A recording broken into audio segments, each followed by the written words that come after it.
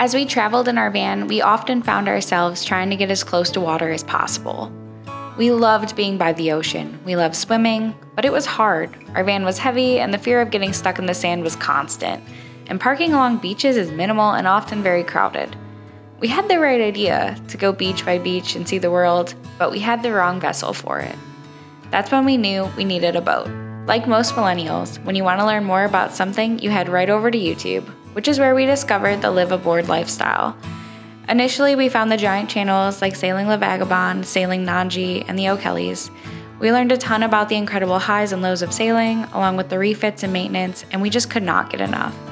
We then started digging deeper on YouTube and finding the channels that were just getting started, that were showing the non production version of what boat life looks like, which was when we knew that's how we wanted to live our lives. From there, we created our plan to sell our van, travel and save money for a year, and then come back to the States to buy our boat. We're going to look at our first boat today!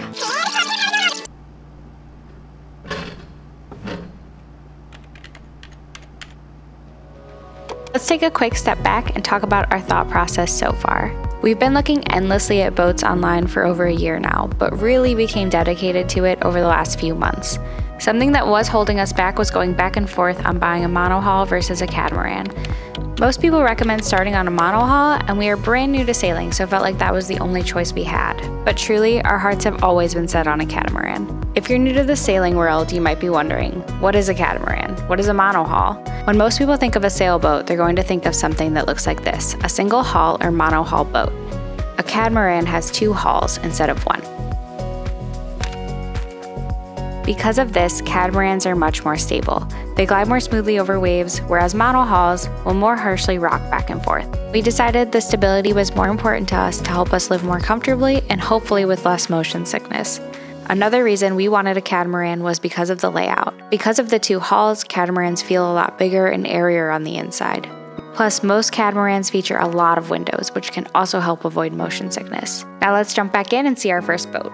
We're going to look at our first boat today. We are in Charleston, South Carolina. We're ready to see the first boat. Um, we promised ourselves we wouldn't buy the first boat that we saw. Might be a little tricky.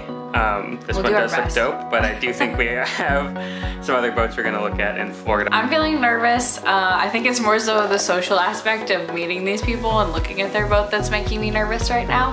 Um, mostly though, the actual boat. I'm just excited to see it. Try not to get my hopes up, try not to fall in love with the first boat. Yeah, it's tough. We're like super excited to get going, to get started, um, but I have to tame those, tamper those expectations just a bit. I'm feeling super excited. I've talked to this man a couple of times. Seems super kind. Yeah, they're a sailing family, so it. I mean, they seem like super lovely people. So I guess I'm a little less afraid to meet them, but I am the extrovert in our relationship. Very true. This is an older boat, she had so much charm. We walked in and felt right at home. It was so hard not to fall in love with this boat. I could definitely see myself living here. But as we said, we promised not to buy the first boat we saw in person. So with that in mind, we move forward with our boat search. Today we're seeing boat number two. This is gonna be a Lagoon 380 S2, which is quite a bit newer and quite a bit, uh, I guess like nicer. I Yes. got my hand got stuck, but nicer than, than the last boat we saw. But uh, we just want to get feet on as many boats as possible. Sorry.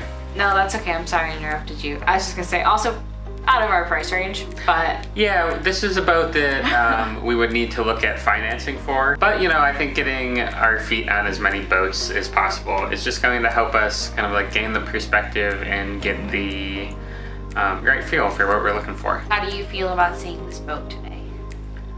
It's a lagoon, not my favorite type of boat. You look at it, doesn't really spark joy.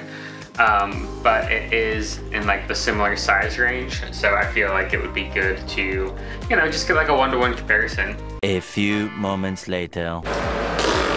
Michaela got into the car and she goes, well, I hated that. I'm sorry. Maybe that's too blunt. no, it's okay. I think it's just like there's certain vibes of boats for different people, and I think that boat just didn't quite catch our vibe. And that's totally okay, you know? I'm not mad that I saw it. It was good that we stepped onto it and took a look at it. Yeah. Oopsies. The Lagoon 380 was like one of the most produced cats, like production cats. Um, so wildly popular. Lots of people like them. It makes sense that they're chartered all the time. Um, but yeah, I don't know. Just didn't just didn't quite do it for us. It didn't speak to my heart. Yeah, in my heart of hearts, it did not spark joy.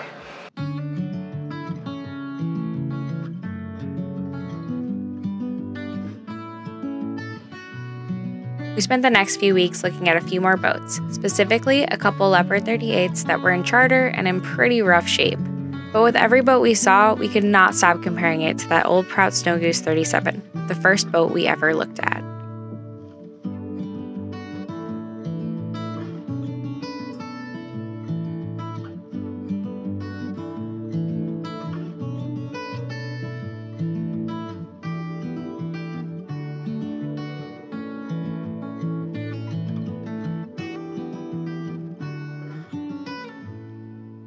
We signed our papers today.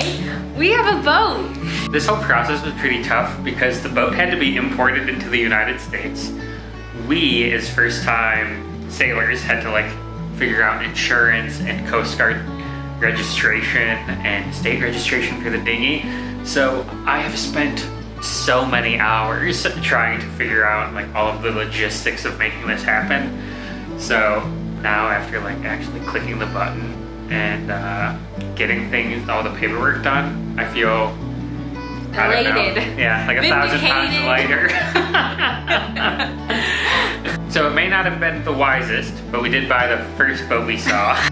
we promised ourselves we wouldn't buy the first boat that we saw. we did see a couple other boats, but they just really did not. They weren't it. They weren't her. Yeah, She was the one. I mean, we looked at so many boats online. like thousands. I don't have to defend online. myself. It's a stupid decision, but Yeah. it is the one that we made, and I'm sticking to it. Yeah, I mean we've already done it, um, so we'll see how it plays out. And I'm so excited. Like we've been on the boat. We've, we had we had like some really intense lessons. Yes. Um, Friday to Sunday to really like get us up to speed about like sailing configurations and how to motor the boat and how to maneuver it in tight marinas. And some of that was like very stressful. And honestly, like even though everything was like pretty intense, um, every minute I've been on that boat, I've just felt so at home. So a couple reasons we decided to move forward with this boat. One of the things we liked about her is that she's really sturdy. Um, they were a little bit overbuilt at the time that these boats were produced because people didn't really trust fiberglass yet. But that's kind of a nice thing for us. She's a very sturdy build. Yeah, a nice 1980s style catamaran. Yes. She's also not super wide. Um, she's only 16 feet across, so she can fit in monohull slips, which um, I've heard saves quite a bit of money compared to having to get um, two slips to fit a normal size catamaran. she feels very homey and like family oriented, which is the kind of boat that we were looking for. We want something that feels like a home. Yeah, it's kind of like the opposite of how we felt on some of those more production cats. Um, like, yeah, they might be faster. Yeah, I mean, they like arguably, objectively, might be just nicer when it comes to like a luxury standpoint. But wow, this boat just feels like home, and it's just something about that that it's just like hard to understand until you get there, and then you can just like feel the difference.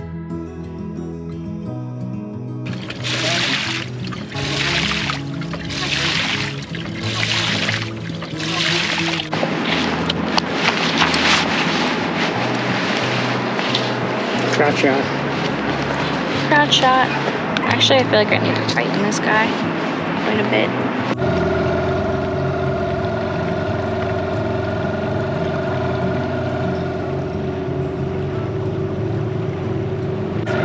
We did get the engine started.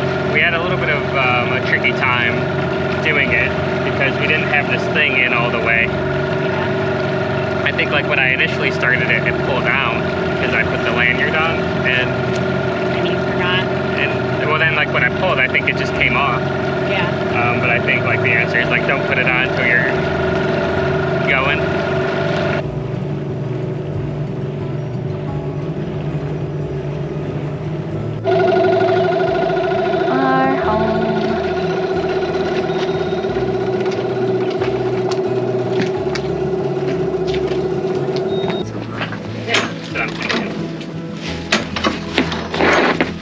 Everything is wet. As wet as a cookie, though. Yeah, that's true.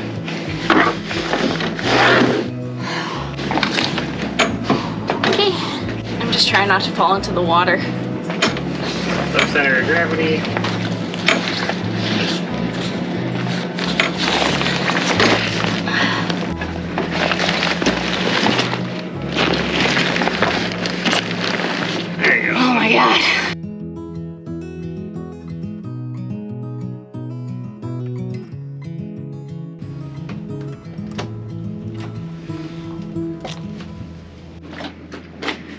Okay, that was pretty dry. There isn't a lot of waves, but the bottom of the dinghy is wet, so I think we're gonna have to take everything out of the bags and hang up the bags to dry.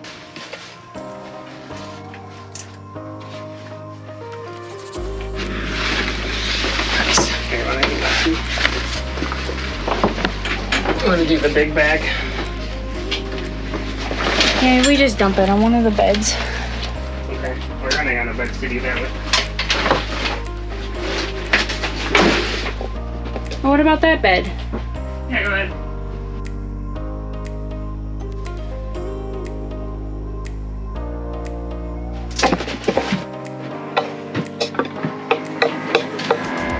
That feels like a good sign of manatee breeding.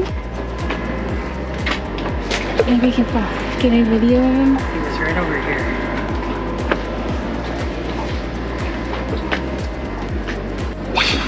Oh, I heard. Oh my god.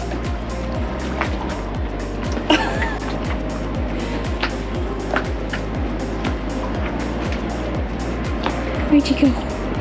The family who lived on board had two kids, so there was some. I mean, they got a lot of stuff Yeah, off the boat. Um, which was great. there was like the last couple of days, the weather was really bad, Yeah. so we ended up with a couple bags of Goodwill stuff. So we gotta. Okay, so now we're loading up the dinghy. Yep. So we brought stuff from the car to the boat. Now we're taking stuff from the boat to the car. We'll do it one more time. but we did see a manatee, so Days good day. up. Pretty good day.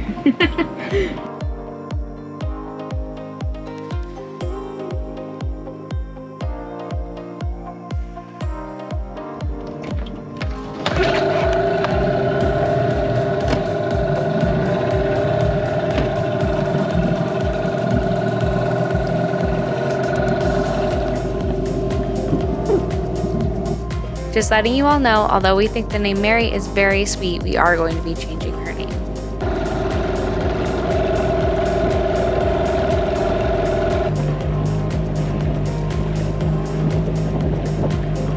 So today we are seeing boat number two. Boat number two.